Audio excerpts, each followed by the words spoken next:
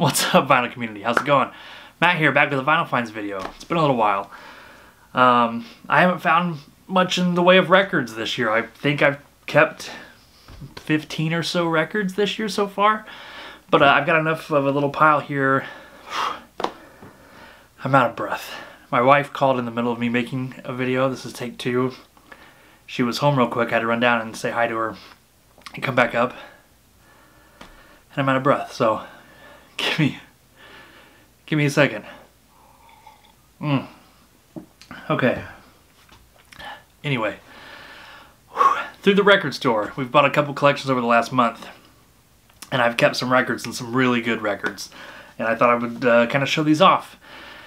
And then I had plans to do a video again in a couple of days, kind of promoting something for the record store, and I don't like to do that from my personal channel. I really don't. I try not to. I try to keep it separate.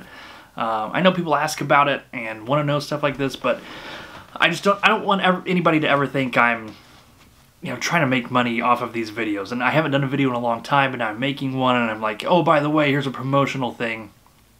I, am not making this video with that intent. It was going to be two videos. We all know how I am. I procrastinate. I wasn't going to get the video, the other video out in time to promote this thing. So I'm going to do this video in kind of two parts. It's one video, but I'm going to do Vinyl Finds first. So if you don't want to stick around for the promotional thing, you can just watch the Vinyl Finds and go your merry way. If you're interested in the promotional thing, stick with me till the end. Um, I'm not selling anything through this channel. It's nothing like that. It's just a promotional thing. Again, stick to the end if you're interested in it. If you're not, I, I get it. I get it. I don't monetize the channel. I don't try to... You get it. Um, also, this angle, I don't know about it. Like, if I lean back, it looks like I'm like, you know, welcome to welcome to the record room. Mm. I don't I don't know. It just seems a little too sensual, but uh, it's this room is weird with the lighting. I've got a window right here, so it gets some good light on my face, but it's not bright enough out to get it all the way back, so it's a little bit darker back there. I don't have a lot of good lights in here, so I don't know. It felt like the best spot, and here we are. But anyway, you don't care about that. We're here for the vinyl finds. So Everything I'm showing came from the record store. The first one came from our clerk, Josh. He works for us, and uh, he traded in a bunch of stuff because he wanted to kind of pick up some cooler stuff that had come in. One of the things that he traded in was this, Weezer's Pinkerton, the MoFi recording. I know, I know, there's controversy over MoFi right now. I'm not wading into that nonsense. I don't, I don't care. Uh, frankly, I don't collect their stuff. I don't seek it out. So it really it, it has no relevance to me at all. so I've, I've got this and Ryan Adams Love Is Hell box set. Those are the two MoFi things I have in my collection. If you've got an opinion on it, cool. I don't have one. So all I know is that this record sounds great. This is the only Weezer I have in my collection. I need to pick up more. I just haven't done it. Um, and I thought this would be at least a good place to start since it got traded in and I didn't have to pay anything out of my own pocket for it. So there you go. Uh, the next two are from a collection we bought from a lady in rural south central Illinois um, out of a trailer. You know, you never know where you're going to find records and you got to go look everywhere. Um, you never know where the good stuff's going to come from. So she had a pretty good collection. I think it was her husband's. He had passed away and she didn't want to mess with the records being around anymore. It was just time to let him go. Uh, it was a really good, solid classic rock collection. And there were two kind of surprising things in it. The first an upgrade copy for me of the Beach Boys Pet Sounds. I had a mono copy, still it's on my shelf, uh, that I found at a thrift store. It's beat to crap. The cover's so-so, like I just probably gonna frame it and put it on the wall. Um, but this is like a VG copy. Plays great. I have a stereo copy as well. It's also VG that plays great. But uh, I feel like in this one, mono and stereo, I kind of want to have both of those. So Mono is the way to go, but I, I enjoy the stereo copy as well, and this is a, a, cool one to have. There's the back there. It's getting pricey, man. It's getting hard to pick up clean copies of that, and I do have it in a uh, kind of a faux MoFi sleeve. It's the vinyl style uh, version of the MoFi sleeve there, so nice clean rainbow Capitol copy of that. The other one, my business partner actually went on the dig and called me and he said, hey, there's a copy of this record in here. I think I want to keep it. I was like, you've been after it for years. You went on the dig. You get dibs. And then we, he got back to the store and he was like, the cover's too rough. I just can't keep it. And so I said, well, I'll be taking that home then. It's Rodriguez, Coming from Reality. Uh, the record, I don't know what the heck happened here. If an animal chewed on it, if it got just bent up, if a baby, you know, grabbed it or something, but that corner is just destroyed. There's a sticker tear there. There's an antique booth sticker there. At one point, this person bought it for $1.50. There's a tear down here. It is the die cut. Uh, that's still intact. So it's a super rough cover. I don't care because the record is incredibly clean. Uh, take it out here. Look how beautiful that is. You can see the gloss. There's a few hairlines, but you know, this is this baby's VG plus. Yeah, isn't that beautiful? Mm. And the record is so good. I know people prefer Cold Fact, but I, I think there's a lot of good on coming from reality. The opening track, Climb Up on My Music, is definitely the standout on here. The rest of the album gets in uh, more of a lighter style, you know, some ballads and things on there, but I love it all. I think it's beautiful. I think the arrangements are nice. I like Rodriguez's voice and his guitar playing. I think it's great, and I'm not going to pay 150 plus for a copy.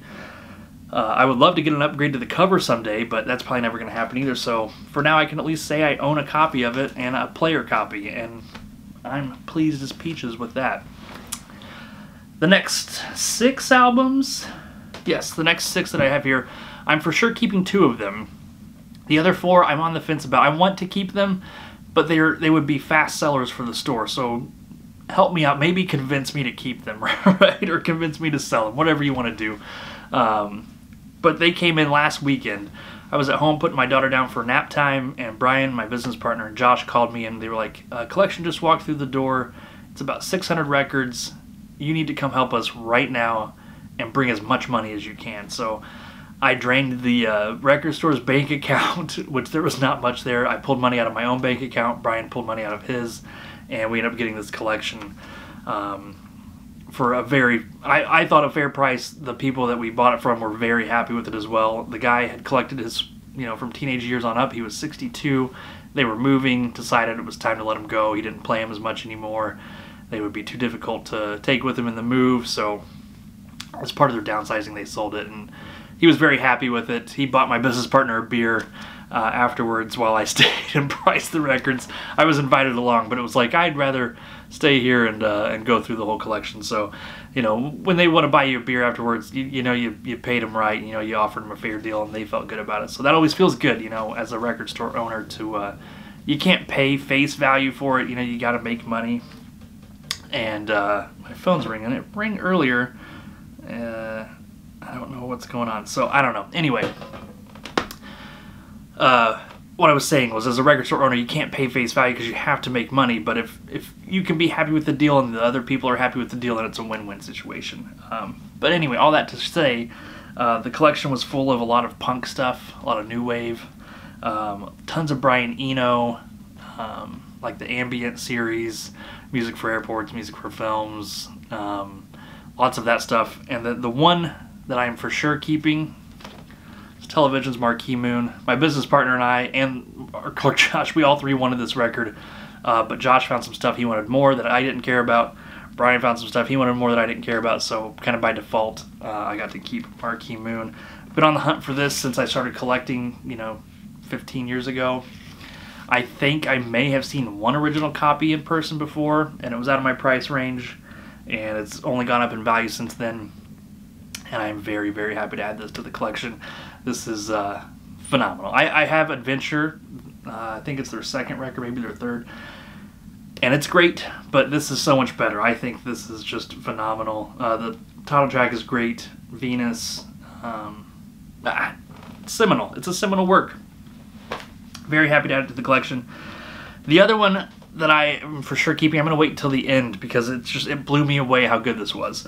But uh, the next one that I might keep, Hawkwind, Warrior on the Edge of Time. Um, I don't typically seek Hawkwind stuff out, but when I find it, I I get it and love it. Um, and this thing is freaking great too, and it's super clean. Um, you know, in the store we could probably get 30 bucks for it. Do I do I put it in the store and get the money and recoup some of the money that we paid for the collection, or do I keep it because it's here? you know what I mean? So, uh, Space Rock, fantastic stuff. Hawkwind's always good stuff. Um, next up, an original Beastie Boys Licensed to Ill on Def Jam. Again, just freaking clean. This whole collection was very clean. In store, we'd have no problem getting 50 bucks for this. Would I personally pay 50 for it? No. I'm not a big Beastie Boys fan. Um, I like their music, but it's never been a favorite. And to be honest, this record, I think a lot of the songs sound very similar. Like you, if you started one and didn't play the words, I don't know if I could tell you the, the title name. You know what I mean? But it is great. so I don't know. And it's another classic seminal album. Brass Monkeys on here. Um, oh gosh, um, the Brooklyn. What the heck is that called? Why am I drawing a blank? No Sleep Till Brooklyn. Jeez. Uh, go easy on me in the comments. Um, Fight for Your Right, of course, is on. That's the big one. But I, I really like Girls. I think that's a fun track, and it's a little bit different sound. Um, but yeah, look how clean that is, too. It's just. I have played this twice since I brought it home last weekend, and it's kind of, uh, you know, I don't know. I'm like this close to keeping it, but again, 50 bucks for the store is 50 bucks for the store. So I don't know. I don't know. That's another one that I've been kind of on the fence about. The Buzzcocks. Another music in a different kitchen. This is a UK original. Man, that light is really bright coming through that window right now. Sorry, guys. Uh, it's all that black inner. There's the label. There's the record. Again, very glossy, very clean. Sounds great. Plays great. And it is great. It's I like this. I like this quite a bit. When it comes to punk, I'm not super into like the hardcore scene. I like it to have more of kind of a pop punk feel. Not pop punk necessarily, but at least some poppy sensibilities. And this definitely has that. Um, again, this is another one would be an easy 50 bucks or more in the store. Do I like it enough to keep it that? You know, would I pay that for it? I, I kind of looked online I was like, I think I could get like a VG VG copy from the UK with shipped for like 35. I'd be on it for 35. But then it's VG VG. This is VG plus VG plus. It's a better copy. I don't know if I'd pop on it online. You know what I mean? Like I don't know if I'd pay for for it at that price point. But I'm also a cheap skate. You know, so I don't know. I don't know. It's that push and pull of like the business side of me is like, man, that'd be some good revenue for the store. But the collector side of me is like, when are you going to come across this again for free, you know, or cheap even in playable condition? I might have to take it home. I might have to keep it. I might not go back to the store. Another record in that vein. This one's really cool. Richard Hell and the Voidoids, Blank Generation. You know, Richard Hell was originally in television, um, left the group before they released any albums, but uh, it's got kind of a similar vibe on it to television. I like this quite a bit. It's on that Sire label. Again, just really clean. You don't you don't find punk records like this very often, and when you do, they're usually beat up. You know, people that played punk records usually didn't take care of their stuff. you know, but this guy was a collector, and so he took good care of his of his records. This is in great shape. This one's not. Uh, I don't know, as expensive, maybe 40 to 45, I think. But still, I don't know if I'd pay that for it if I saw it in person. Uh, but I have it in my hands right now. So do I keep it? Mm, it's and again, it's not the typical stuff that I normally seek out, right? It's not the 60s psych stuff. It is kind of the late 70s, early 80s punk kind of stuff. And I do like that, and I don't have a lot of it in the collection. This would be a good way to get quite a bit of it and some big ones uh, right, away, right away. Um, I don't know. I'm just kind of on the fence about keeping this one too, but ultimately, I don't know. It depends, I guess, a little bit on what my business partner Brian ends up keeping. Maybe try to match him dollar for dollar and and go from there. Because the last one I'm keeping, so I had that television marquee moon. That's kind of a high dollar one. This also was kind of a high dollar one, but man, we played it in the store when we were pricing the records, and I was like, "What is this? I want this right now." This is the Saints. I'm Stranded. They were from Australia, kind of considered maybe the first punk band. They were playing in Australia in the early 70s and already had this sort of sound that would be established, you know, by 77 when this record was released, when the Sex Pistols were putting their stuff out, the Ramones, that sort of sound. These guys were doing it arguably first. Um, I don't think I knew anything about this until the other day, so this is kind of new research for me. But the title track, I'm Stranded, Oh my gosh, it's the opening song. It's amazing. I told the guys at the store, was like, it sounds like it came off the soundtrack to Freaks and Geeks. Um, and the rest of the record, I think it's nine songs total, have more of a lo-fi sound to them because they were demo tracks. Uh, the label wanted to put out an album, and they really only had the single kind of officially recorded and polished and mixed and all that, and they kind of rushed out the rest. So there's kind of a demo sound to it because they were demos. It's all fantastic though. This record freaking rules. Um, Messing with the Kid, Erotic Neurotic is really good. Kissing Cousins is a great song. Demolition Girl, and then the uh, closing track, Nights in Venice, is really, it's all fantastic. I, am serious. This record is incredible.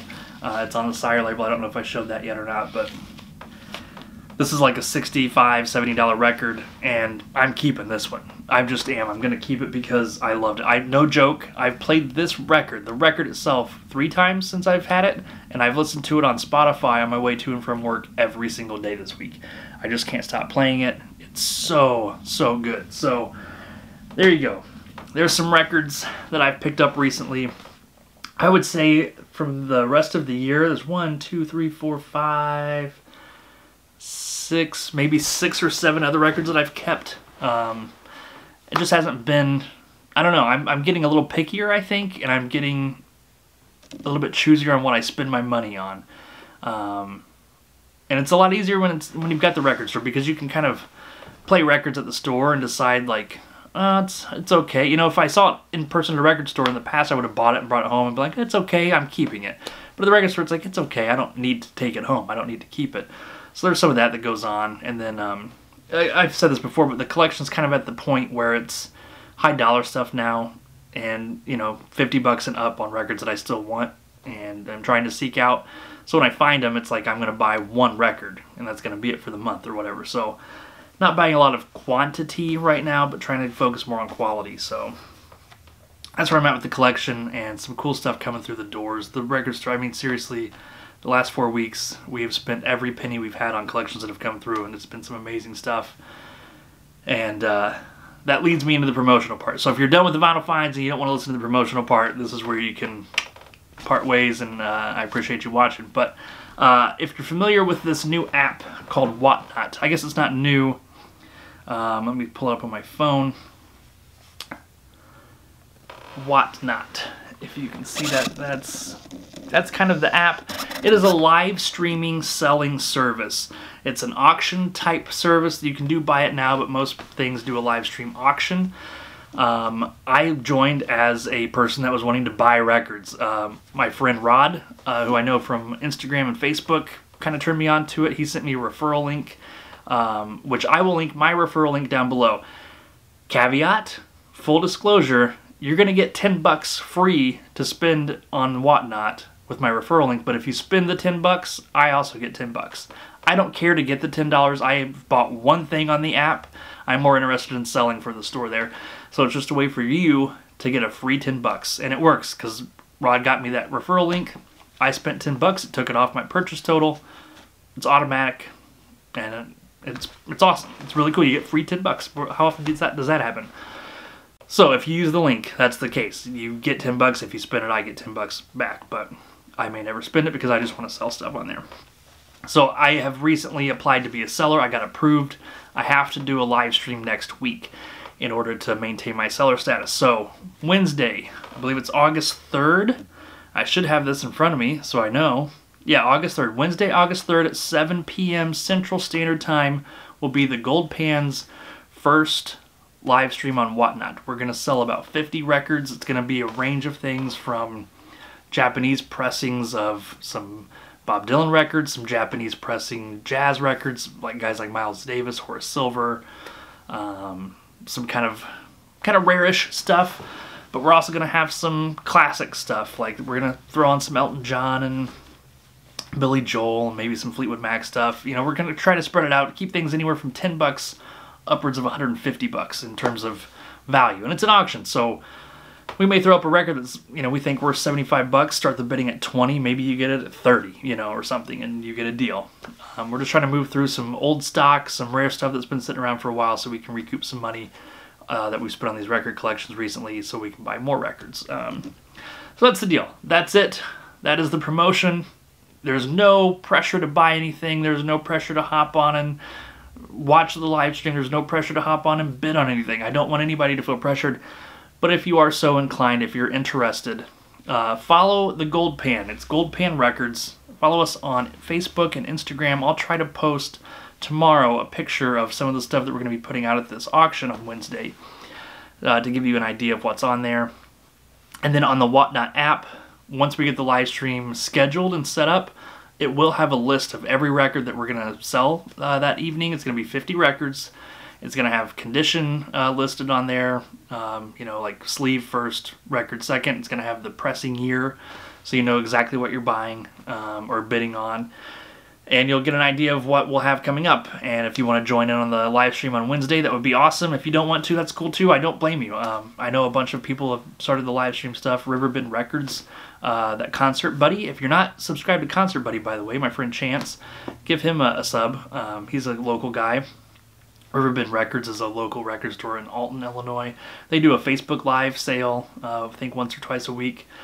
So, you know, I know about it, I don't participate in it, but I think it's cool that they're doing it, and I think it's a cool way for other people to get records. So, the same thing here. I don't want anybody to feel pressured. I don't want anybody to feel like I'm using this channel solely to promote and make money. I don't make any money off the record store. I, zero dollars. We've been open for five years. I've not paid myself a dime. Every every penny we get goes back into buying more records. That's how it works. So, um, if you so if you want to join us, the Whatnot app. It's on your phones, Android, Apple whatever you use. You can also access it on a computer if you don't have a smartphone. You can just Google Whatnot, sign up. It's super easy to use. Just search vinyl on there. You'll see all the live streams that are coming up. It's very easy to bid on things. Um, it's easy to pay. You know, set it up with a credit card or PayPal beforehand. That way, during the auction, as soon as you hit bid, you win the bid, it pays, and you get the, the record. Um, they also require sellers to ship within two business days. It's very fast shipping.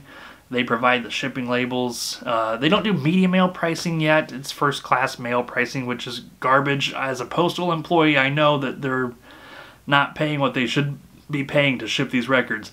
And they need to be doing media mail so it keeps it cheaper. And, you know, it's in the works, I think, but for right now, that's what it is. The shipping will be around $5, you know, for one record. And if you add more records, it stay, you know, it's like a buck more per record or something. Um, so we'll try to keep it affordable. And then if you sign up for the referral link and you get 10 bucks and you join our live stream, you get a free 10 bucks to spend on stuff. Maybe that'll help with the cost of shipping or something. And if you want to use it on a different live stream, cool. Again, don't feel pressured. I just I want to make that clear. But I do appreciate everybody watching, sticking with me. I showed 10 records and it took 25 minutes. So if you stuck with me this long, thank you guys. I appreciate you big time. And uh, hope to see you guys soon with some more killer finds and I do have the top 10 of 2021 almost finished. so uh, it's almost August. It'll be out here in about uh, a week or two. Fingers crossed anyway. So we'll see you guys. Thanks.